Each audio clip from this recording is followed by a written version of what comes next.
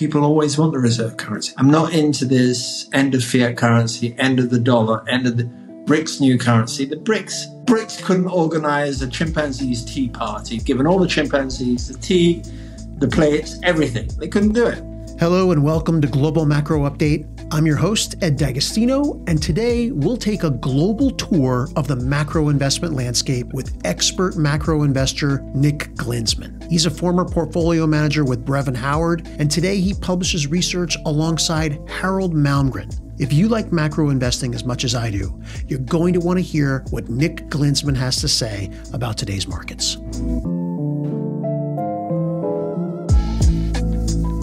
How do you feel about commodities right now? Uh, and I know that's you know like the biggest blob you can you can imagine. But if we yeah. you know, if we break it up into agriculture and then metals and and oil, I'll go metals, oil, agriculture, Me- metals. So let's split this. Obviously, gold, precious versus the industrial.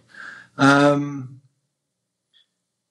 gold, there's something going on and I think that's something going on is with the Chinese accent.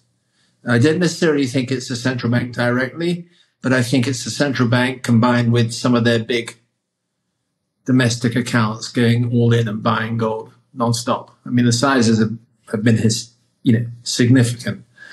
Uh, and it's interesting, retail's not really participated. You know, um, from a personal perspective, the way I've always played gold, because I never used GLD. I always had a, a concern about GLD, which occurred, manifested itself during the, the GFC. The gold is held by HSBC and JP Morgan. So implicitly, there's a bank credit risk there, right? It was never a trade. I looked into it. Could you trade real gold against the GLD rather like the old TED spread, right? But it was there was nothing there. It was, it you know the size would have had would have been ridiculous. Um, so I always I always shirked it. My personal preference has always been. I think we again discussed it the other the other week. I buy physical gold in the form of collectible gold coins to get that double whammy. Get the gold, but the collectible, and it's in fact been the collectible side that's outperformed the gold side. Huh. Right. So, you know, it's, which when you think about it, it's not surprising. Look at what, look at, if you look at what happened with some collectible watches or cars, etc. But it hasn't pulled back in the same way as some of those have slightly because the gold's come in, kicked in. And so people are, you know, I, from what I heard is it's, um, you know, the, the people I bought from the, from it pre- previously in the UK, um, they're ha- you know, they've been phoning me, do I want to sell anything? And I say, oh, no, no, no. And the more you phone me, the less I want to sell. so, um, so that, that's why I played that. Terms in the industrials, long term, some of the industrials will benefit from this green direction. Okay. Um, but I th- and I think that that gets an extra boost when you look at what they've just done to Russian participants in the LME. So they they don't do stuff. They the politicians really don't think this out from an inflation point of view. So, you know, even though we went, for example, aluminium went up hard, came back yesterday, it will carry on in the end. I mean, you know, I think it carries on. Um, so, I, you know, I think also I tend to view the industrial industrials as a cyclical anyway. And I'm of the view that the US is reaccelerating and this onshoring and attraction that's going on right now. Um, you know, you had TSMC, now you've got uh, one of the Korean companies coming on board? Samsung. Samsung. This is big stuff going on. Yes. Um, and the Chinese, regardless of what they say, are not welcoming. Uh, there's going to be more problems. I'm with you on that. I think China is just uninvestable. So, and I think that scope ranges from investing in Chinese securities directly all the way down to private equity. Gone. You know, if you're a foreigner, what's the point? You know, you can't do your, your due diligence because espionage law precludes it. Which makes me wonder how China Book still has has the ability to do what it does, because it's a great service in that respect. So you wonder, hmm, um, because they, they they put it out there very accurately, good and bad news. So that that precludes it. But I think the US and uh, the Inflation Reduction Act, I think that was huge, and I can't see why if there was a change of administration at the election, Trump wouldn't continue with that. Okay? Uh, it's, it's interesting because with regard to China, Biden's pretty much continued and then increased. And I think that carries on with Trump. I mean, you know, if you look at what's being said by the, uh, the group, the people at the Heritage Foundation drawing up the Trump plans, what they haven't had yet, I mean, you know, you hear 60% tariffs on Chinese goods, 10% global tariffs. They haven't got that financial expert who would be, who would be Treasury Secretary to say, calm down. Right.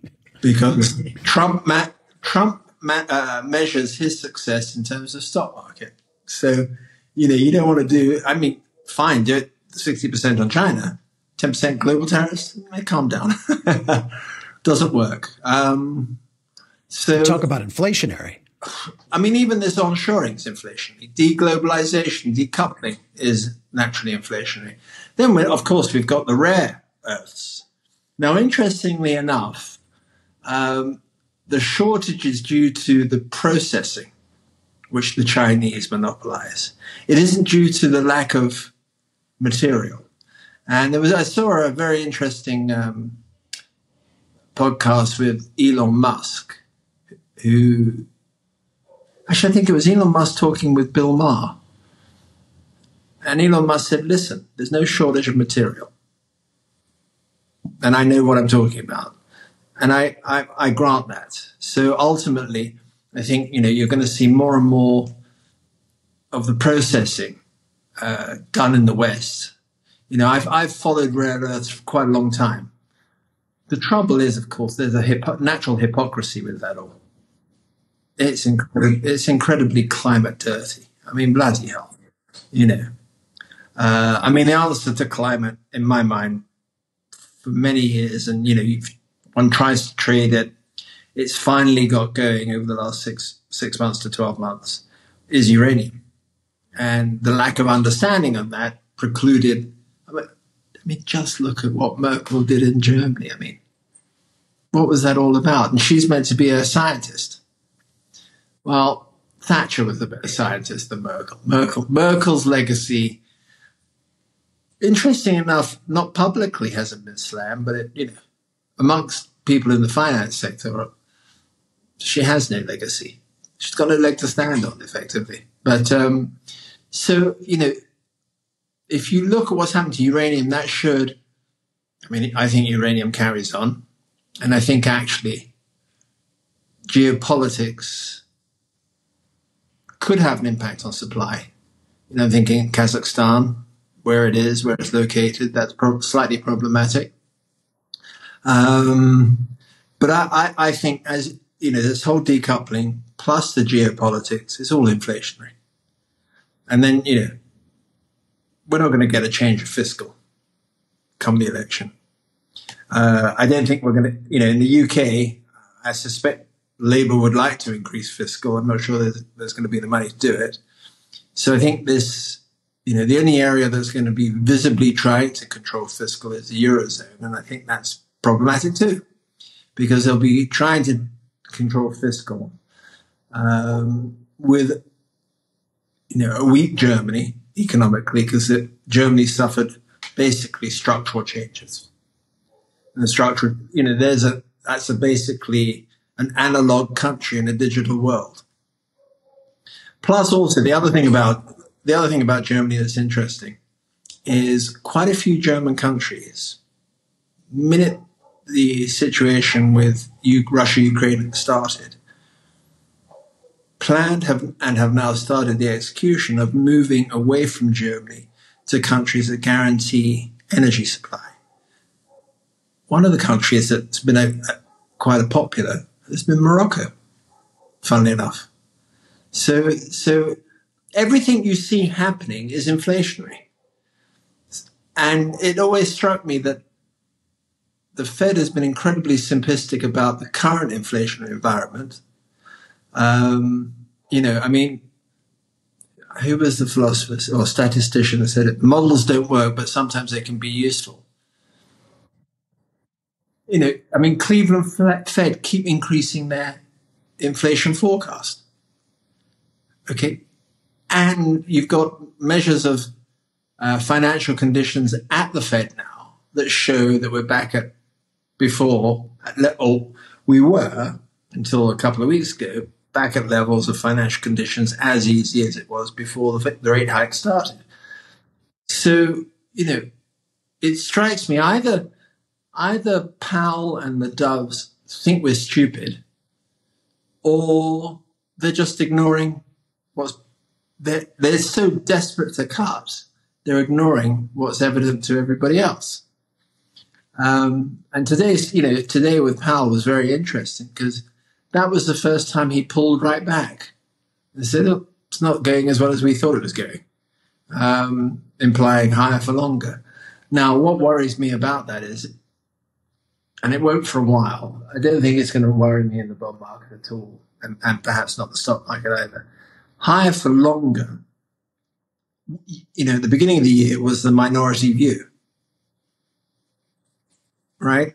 Now it's becoming a little bit more conventional wisdom. You know, you had Deutsche go from four cuts to one cut, Bank of America from three to one. Um, I'm more, you know, our, our view, my view in particular, I've been really pushing this, is inflation bottom third quarter last year. And now we're going to see it reaccelerate because the comparisons, maths tells you we're, we're going to reaccelerate. Plus, of course, gasoline prices and whatever anybody says, well, it's part, that's a headline. The Fed don't look at core. It feeds through. And you'll see that with goods prices begin to move back up. Um, so there's that. But I've also, last year I was a recession denier. And this year, I'm not a recession denier. Just, I, it looks to me like growth's reaccelerating again in the hard numbers, right? So, you know, none of this bodes well for a Fed that's desperate to cut. Um, and I've, I've, I've said for a while, if they if they do cut in June or July, that's, a, that's another policy error. You know, my latest phrase got a friend of mine laughing. I said the word bumps is the equivalent of transit- transitory in the lexicon of the Fed. Because they're all using the word bumps all of a sudden. We're all using transitory, and now they're all using bumps. So, Nick, we have the we have an accelerating U.S. economy and inflation moving back up by by all measures that us normal people, non-Fed people, look at.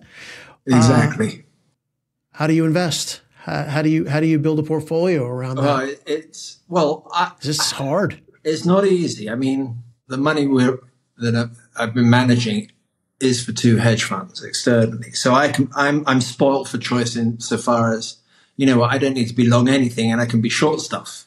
Um, and I think, from my perspective, you can if you need to be long stuff, it's going to have to be an alpha or a hedged process.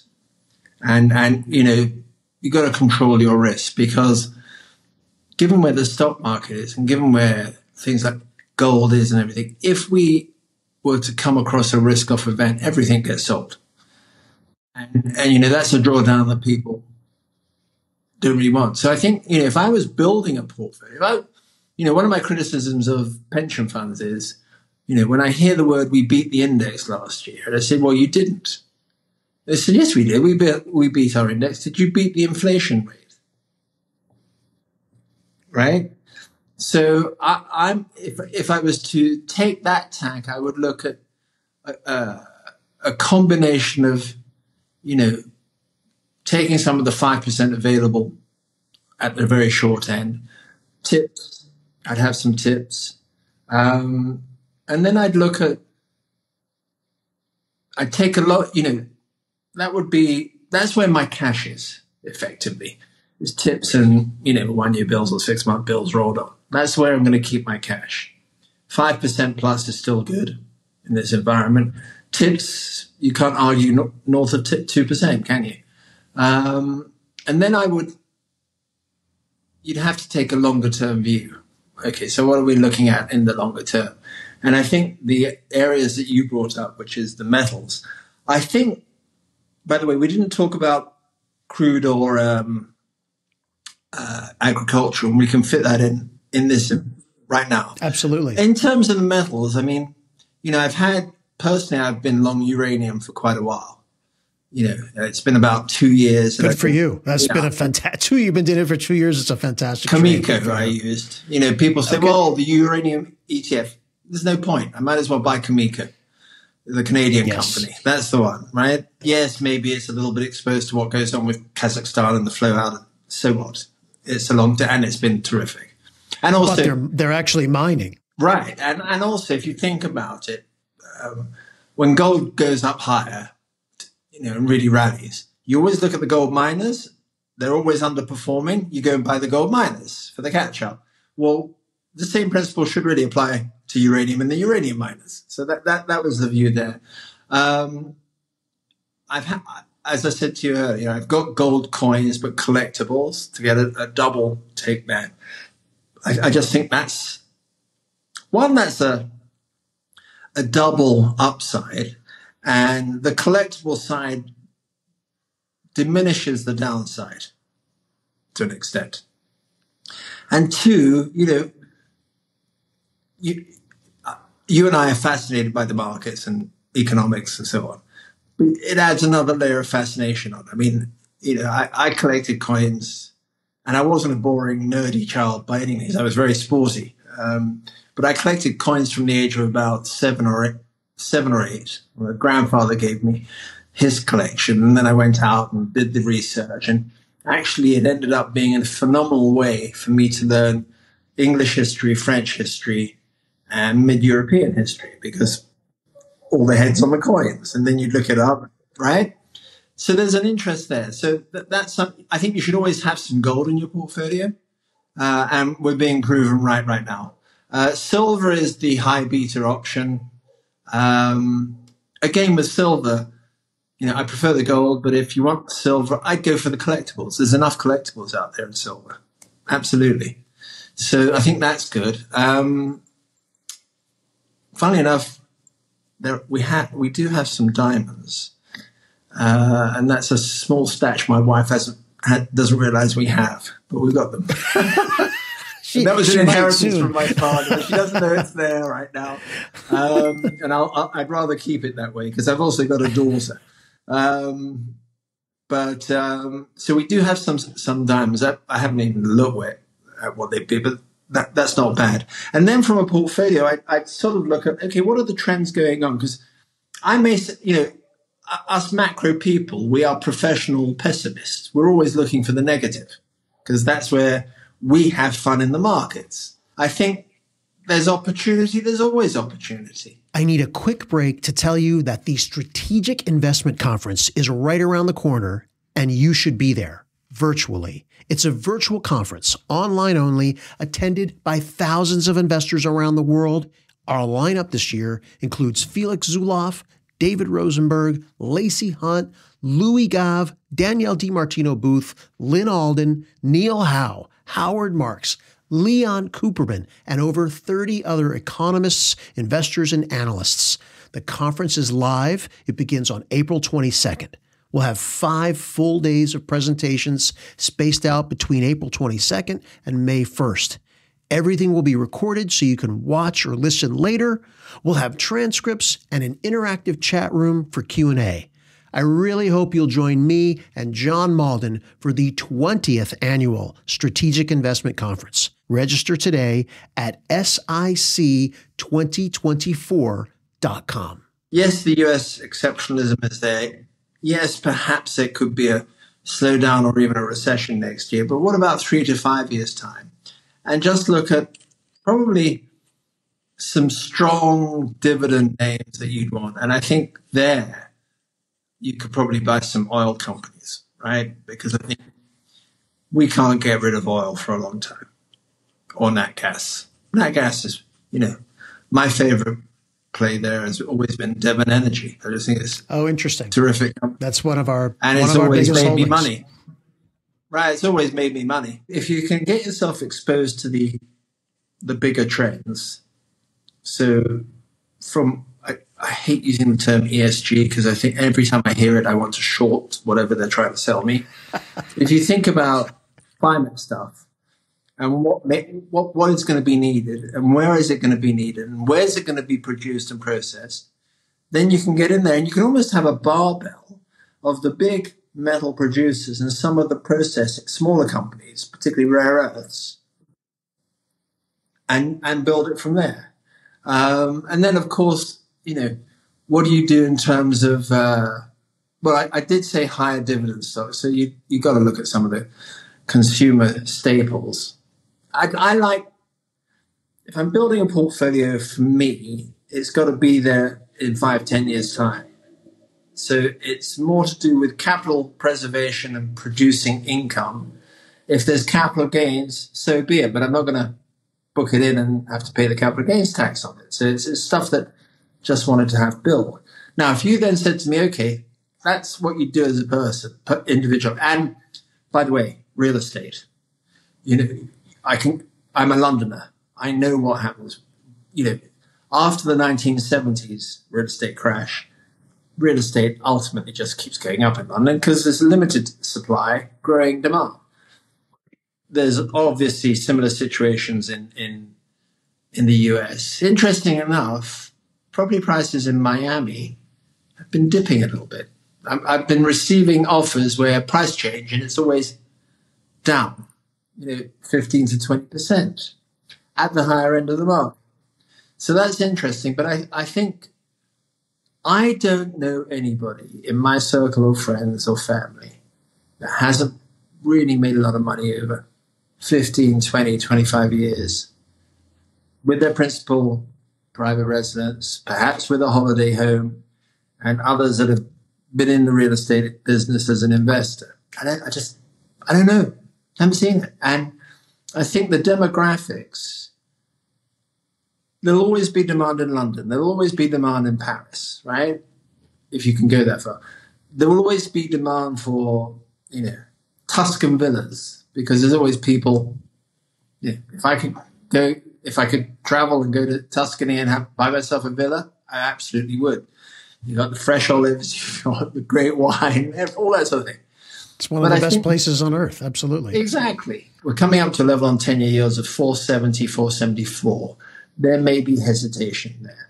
I fully expect five, maybe five and a half on the 10 year. Wow. But that hesitation, you know, do I need to worry about, you know, I, have got a core position, but I've cut, you know, my, my risk down in half.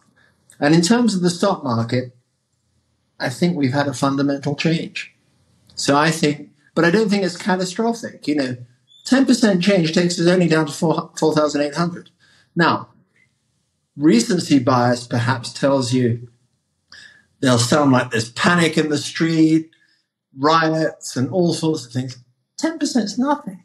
In the good old days that both you and I remember, right, we've had some really enormous drawdowns intraday. I mean, enormous. So, you know, I don't get that excited. I, what I'm interested in is if we do get a drill down, and do we, and we do have a couple of big days down, and big, by definition, a big day down for me would be north of three and a half percent down on the S&P, right? That would be a day that, uh, you know, that would get would, everyone's attention. Yeah, that, that, that would be attention grabbing. Is what happens to the bond market? I can understand a bit at the short end, but what's the reason for the problem? Is it the long end yields going up?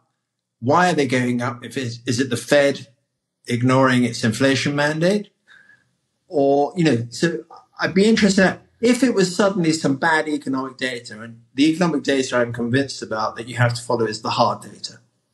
The surveys have been impacted by COVID. I'm convinced of that. You write a survey, think of what, how you would answer a survey during COVID. Pessimistic, miserable as sin, boom. And I think that's still the case because these surveys are proving useless. So, um, so if the hard data dips hard, and that's why the stock market's down, different ball game, bond market should all rally. But if it's not that, that'll be interesting. Because remember, we are in a world of fiscal dominance. So, you know, I don't see deficit coming down much this year. Um, and then, you know, post election, we've got two big spenders. It's either Biden or it's Trump. So who's going to who's going to be the fiscal conservatives there? I don't think either of them are.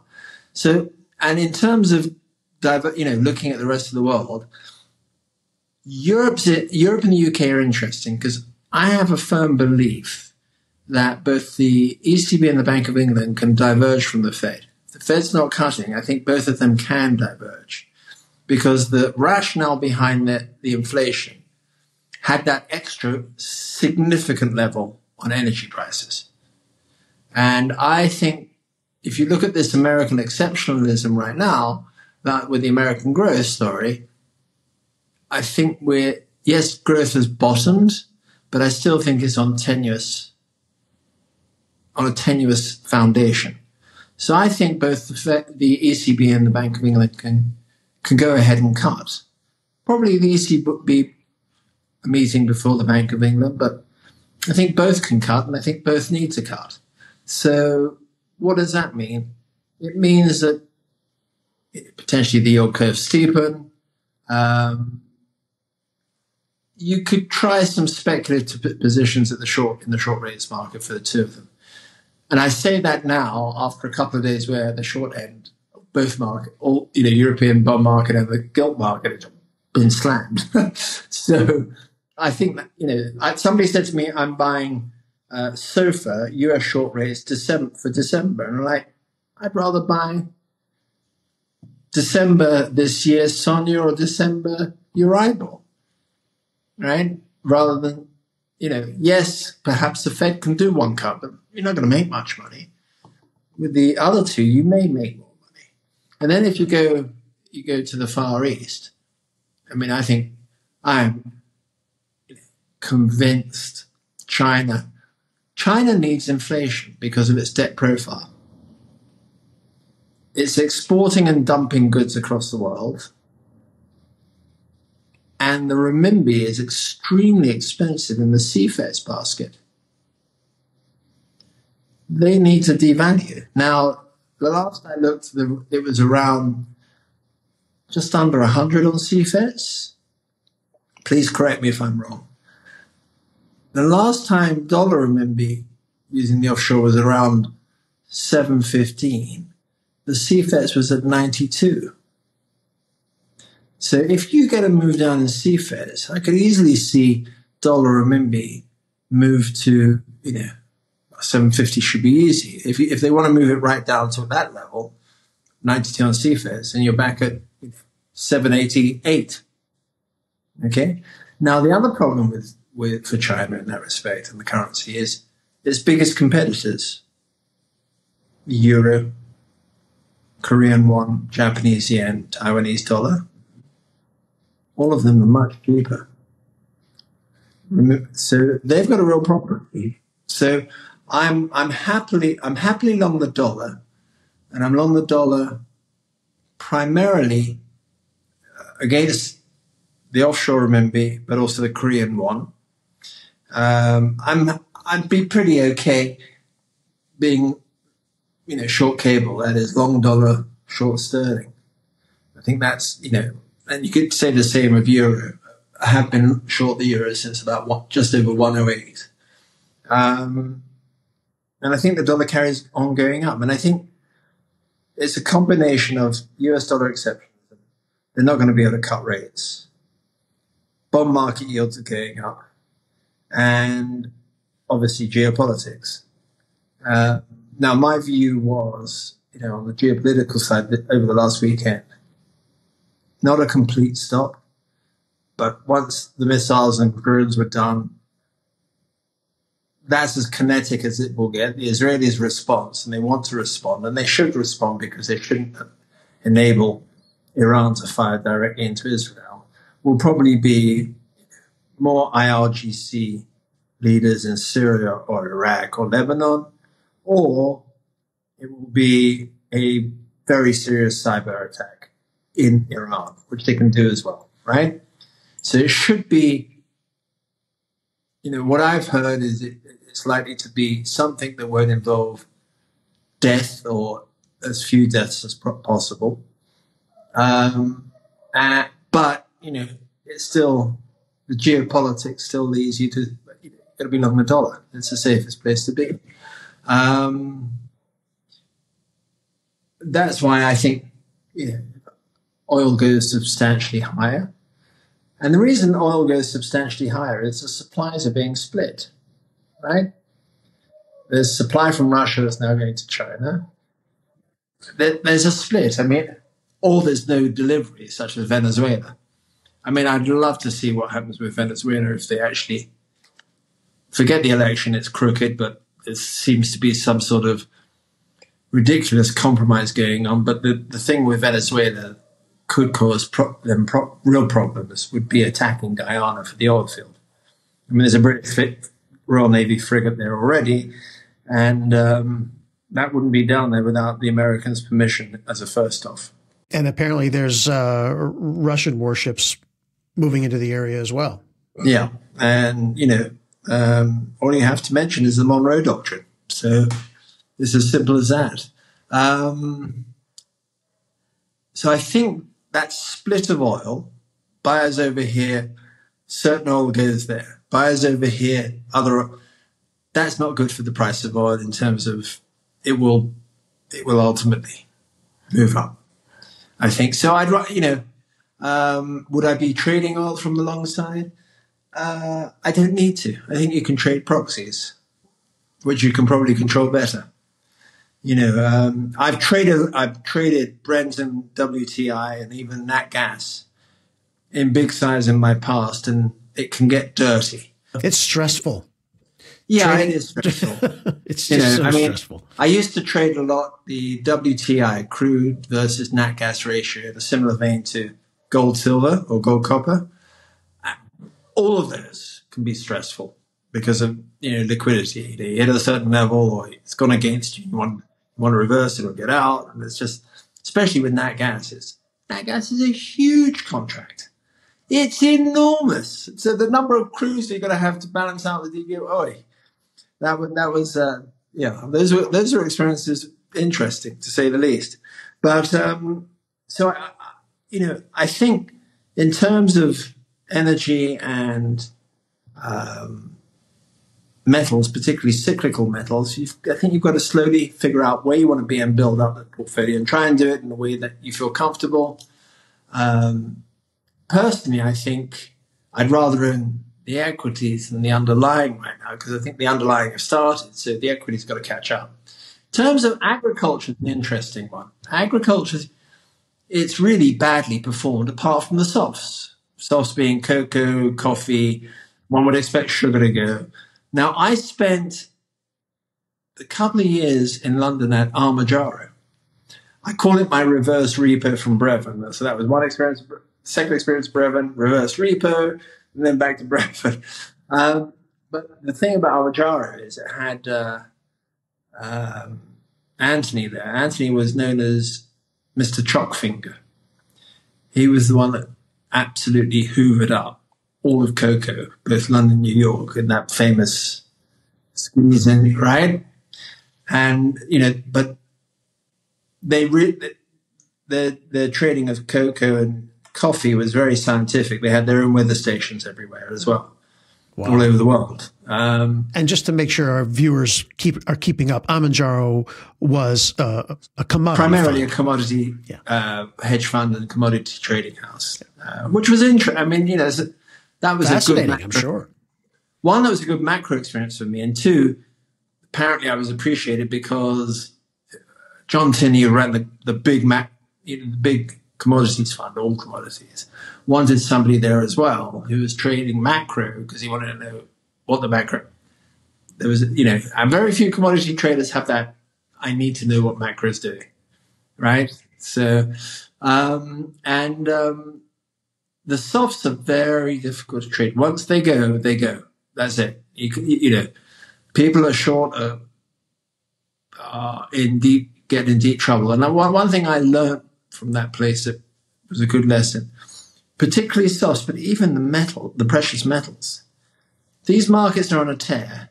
Don't bloody short them because you, you'll get carried out. Okay. And I've seen it. People been carried out. I saw people carried out with silver when it was headed to 40 and it was, it's not nice to watch. So, now, so th- there's something going on there. It will be interesting to see if that's a complete and utter repricing. Have we gone from here and we're now, that's it. That's where we trade from. Uh, but that's inflationary too. Cocoa, all the chocolate you have. Coffee is Arabica as well as Robusta, Robusta, which is the cheaper one. It's Arabica. So, um, sugar will be interesting to see where the sugar goes with it because a lot of these softs are all showing the similar signs. Now, vis-a-vis the grains, which is corn, wheat, soy, soy, they've been disappointing tremendously. Now, it, it's yeah. a bit of a head scratcher to me. I'm, I'm really interested, especially in coming into summer because there's an El Nino, and it's a big El Nino. and that's part of the reason why they're anticipating a really stormy hurricane season, right? if that's the case, not only will the North American crops have an, be impacted, but the South American crops be impacted as well Australia. So I'm watching that very closely because I think there may be an opportunity on the long side for those. I mean, the one thing that I used to tr- do a lot of, and I haven't done it for a while because I'm older, so I'm going to leave that to the younger, um, is I used to actually trade the ratio corn versus wheat, corn versus soy, and wheat versus soy. In particular, and the reason being is you have this cycle of the WASDE releases. And it's, you know, if you go back in, in history and you look at the ratio, because it smooths out all the price, these ratios anticipate every single time what's coming out from the WASDE. And the WASDE is always a market moving event. So it was it was it was very interesting. Um, did a lot of study on that and, and, and did trade it. And every single WASDE report came out. It was a good day. It was always a good day. And it's, it's sort of fascinating to know that the market, which if you go back to the original definitions of the market, the market dissipates all the information and adjusts it accordingly, particularly free market. That is actually what happens with the grains on their interrelationship. So that I always found that fascinating. But I'm watching those because I think, you know, I think that I think they've got some decent upside due, especially with what's coming in the pipeline. But I think you've got to wait for the first evidence. You know, is the El Nino, which usually does have a very big positive impact on prices, what about the hurricane season? How does the hurricane season affect plantings in North America? How's El Nino affecting plantings in South America and Australia? Um, I think that would be very interesting. What I think happened with, with particularly wheat was everybody dived in after Russia Ukraine started, just full of bad longs, left, right, and center. So, you know, it may have been trying to go up and kept being hit with a get me out of this level. I've cut my losses down to this. And but th- that's why this year I think will be particularly interesting. It may be impacted by you know Russia Ukraine again because I hear that Russia's on on the borders waiting for the mud to dry and you know they're already slowly increasing their position. I was speaking with a, a US based commodity trader and they were saying that the one thing that a lot of people don't factor in is that there's been a tremendous amount of new arable land added to the system as well, which which which is forcing him to stay short. Thankfully, thankfully, if you you know, if you think of Jared Diamond's book, what was it? Gun, Steel, and one other he put in there. Um, yeah, no, that that's true. I mean, there's that dry farming. There's the web. I mean, there's all sorts of farming going on that really has increased arable land. So that's a positive. I mean, that's a really for know, humanity for sure. Absolutely. Going back to the retail side of it, if you have the wealth to do so, um, you know, you, if you look at traditional farming, you know, I'll take the example of the UK, which you can see how tough it is to make money because you can go onto Amazon Prime and watch Jeremy Clarkson and his farm series, which yeah. is both hysterical but also yes. you know, very accurate. But it's it's at the borders, the frontiers of farm farming development. That's where you can make money. I mean, an old an old partner from uh, Brevan Howard, um, he has dry farms in Montana. Oh, interesting. It loves it, loves it. So, um, and you know, very happy doing it. So that you know, these these are all sorts of things that, depending on where you are on the scale, um, the less you have, the more I'm going to tell people real estate. Go get your house. That's your first objective, and then you build out from there. Sure. The other thing I guess we ought to look at is emerging markets. Um, you can't you, you, you can't fund your carry trades with the dollar. You may be able to fund your carry trades with the euro. Obviously, if you're funding your carry trades with yen, you're still enjoying yourselves. So the question is, how far will they let the yen go? Now, the market is sitting there going 155 has got to be it before they come in and intervene. I'm not sure. If you think about the politics of it and the politics of what's going on, vis-a-vis China. What really China? A cheap yen, a cheap Korean won, and a cheap Taiwanese dollar. And if you think of, let's put a few pieces of the jigsaw together. What was being discussed a couple of weeks ago? AUKUS, Australia, UK, US, perhaps Japan joining. I smell something there which makes me, you know, I think the yen at some point can rally against the euro and sterling, but I'm not sure about it against the dollar because I'm smelling the ge- geopolitics a little bit. And have no doubt, have no doubt the Biden team, led by Yellen, um, and I'll say this with the greatest of respect, I still think she was one of the worst Fed, Fed presidents ever. Um, but she is very internationally aware. And she does seem to like playing the geopolitics. So she goes over, she can't offend. You know, she reminds me of one of my Jewish grandmothers, right? She can't offend you. But if you look at what was being discussed last week in China, there was a pretty stern warning. And it makes me wonder this, this administration, as well as to a, uh, a lesser extent the Trump administration, they weaponized the dollar. Well, with your with your allies, you can weaponize a lot more against them, and it's a very subtle thing. So, which also then leads me to say that's why I'm convinced that Renminbi is going to be de- not devalued but managed down because they can't cope. They just can't cope. Um, so how long that takes, I don't know. I mean, you know, I, there was a friend of mine um, who's moved into macro from pure energy trading, I think, and he got freaked out about you know HIBOR moving up and the impact it has on the renminbi. I said, one, it has no bloody impact, but even if short rates in China spike up, go back to 2019. What did the Fed do on the repo? that repo crisis with the they had a liquidity. They did a disguised QE. Dollar went down. So the Chinese are going to do the same.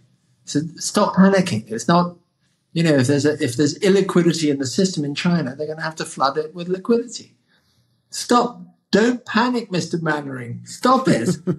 but from my perspective, that's where Twitter gets a lot, has a lot to answer for. There's so many um, weak hands in there in terms of information flow. They just don't understand what you and I and others have been, you know, and they have, they even denigrate what we do. But we have been doing it for 20, 30 years and we have spent our lives in meetings with policymakers and we build a picture and we've had top colleagues and you build a, you build a system if you're good at it. And there's no excuse if we've been through what we've been through.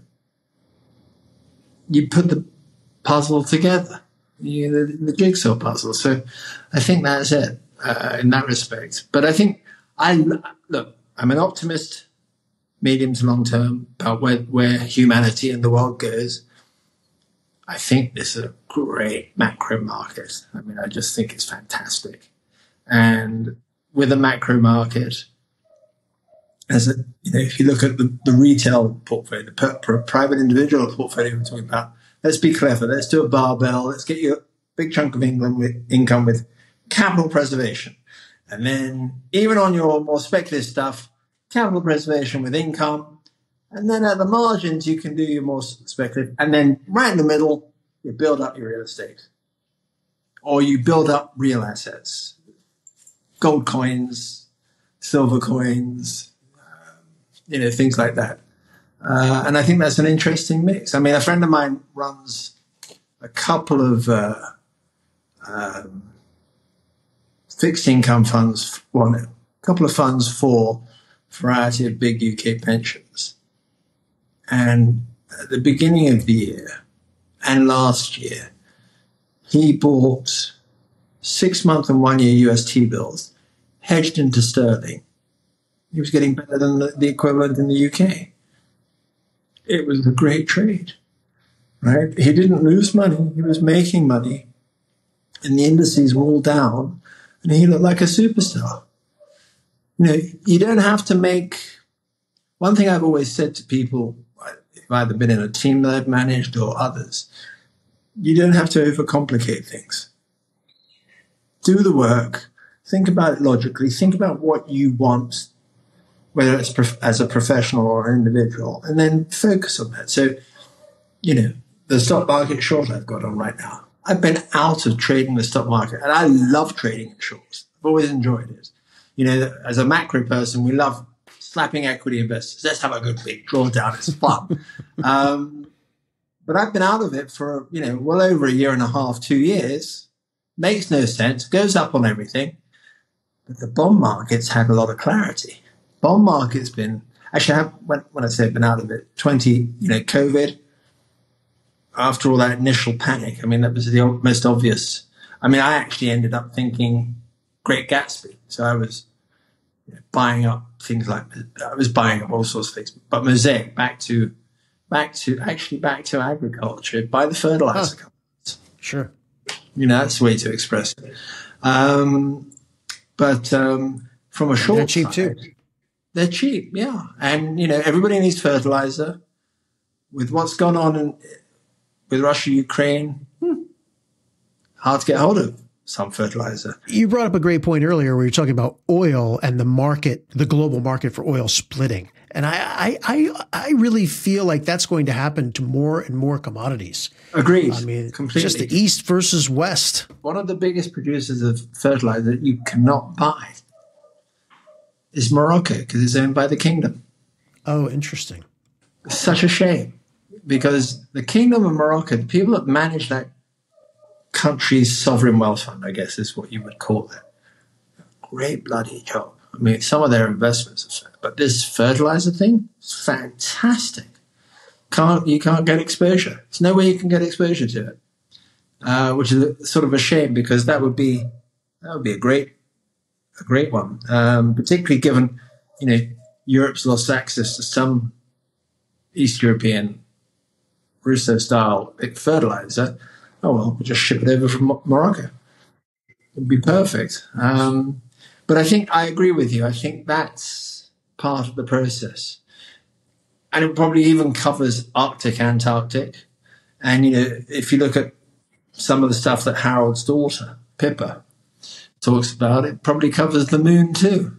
Yes. And the asteroid stuff. And as, as out there as some of that sounds, she knows what she's talking about. That, you know, people should find just to sort of say, ah, this, these things are developing, probably developing quicker. I mean, some of the stuff she told me um, has been most interesting. Most interesting. You brought up policymakers and and Harald, and we're talking about Harald Malmgren, who is your your research partner yeah. uh, in, in, your firm.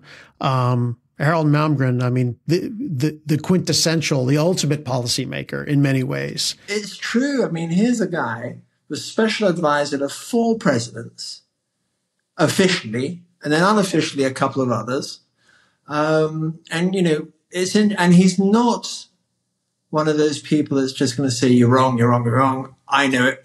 Not at all. I could talk macro with you all day, but um, the debt and the deficits haven't yet mattered. But just because they haven't mattered doesn't mean they won't matter. when do they matter? It will happen all of a sudden. And I'll refer you to the Liz Truss government, that nine day government in the UK. Mm-hmm. And, you know, I had some input there. And I said, you can't do everything all at once because chunks of it are unfunded and the markets won't take it. And they went greedy and okay. Now that caused real, real trouble in the gilt market interest rate market, Bank of England had to step in. Okay. That's, that's got great potential in the, with regard to the US Treasury market. The one thing I would say where there is a huge difference that we can't forget, and this may be the overpowering difference, it's the reserve currency. People always want the reserve currency. I don't, I'm not into this end of fiat currency, end of the dollar, end of the, BRICS new currency. The BRICS, you know, my experience, BRICS couldn't organize a chimpanzee's tea party, given all the chimpanzees, the tea, the plates, everything. They couldn't do it. So um, it's the reserve currency, and that's to use de Gaulle's phrase. It is an exorbitant privilege, but it's an exorbitant privilege that's relevant to the debt profile. Um, and to be, for all intents and purposes, you know, if you're a foreigner that owns US treasuries, you basically have dollars. There's dollars. So that mitigates. Can we can we have a Liz Truss moment? Yeah. I wonder whether it's a combination of fiscal and how markets are certain positioning. If you remember the, the insurance companies got caught out, life insurance companies. So you got US fiscal, are there areas of the markets that have got themselves exposed that would get hurt? To be honest, I, think we would have seen some of that already. You know, everybody's talk, talking about gloom and doom and CRE. Okay, show me. I I agree. Everything's still, you know, it's going to get worked out. Yeah, and and actually, there is a part of CRE where you can't get exposure to because the demand is so huge. I've said this since COVID and the whole discussion on reshoring, Anglicity, etc. It's factory. Factory space. Can't get it. Right. Ah, there, there's another real estate investment if you can get it. Factory space. Um, so yeah, so so inflation, inflation, inflation. We're, but you know, you and I are old enough to realize we can live with inflation. Yeah, and higher interest rates. I mean, at one point, my mortgage in the UK, my first mortgage, they were talking about 92. We're talking about the ERM crisis. We all had a level of mortgage for tax purposes, but we were getting close. It was like 14, 16% mortgage rate in the UK. And we were getting close to, okay, does the tax benefit I get from having a mortgage get outweighed by the interest? the monetary transmission mechanism 70% of your debt's fixed rate. So it's a slow transmission. Europe is floating rate, 70%. It's a fast transmission. So, you know, that Great was a simple, you know, that was a very simple thing to say. Oh, there you go. And that's why you've got American exceptionalism. how can viewers learn more about your work and the work that you do with Harald Malmgren? Because it's it's fantastic. We are planning to do the website. At the moment, people can go on to our Shopify. It's Malmgren, Malmgren Glinsman Partners on Shopify. And they can see a couple of examples of the videos we've done together. Um, or alternatively, if they if they want to have a you know a one week exposure, I can organize that because we direct mail everything. So they can just email me at nick at evocapital.com, the address of which they will find on the Shopify page as well. So, uh, and we, you know, it's five daily letters for macro, five daily letters for geopolitics and politics. Um, and I keep being told it's thorough. I keep being told on the macro side, people are making money. Before you leave, I want to invite you to join my Global Macro Update newsletter. This is a free service that comes out every Tuesday and Friday. I'll send you an email with my latest thoughts on geopolitics, economics, the markets, along with a link to the latest interview and a transcript. If you'd like to join us, hit the link in the description below or go to globalmacroupdate.com and join over 100,000 other Global Macro Update readers. I hope you join us. I'm Ed D'Agostino. Thanks for watching.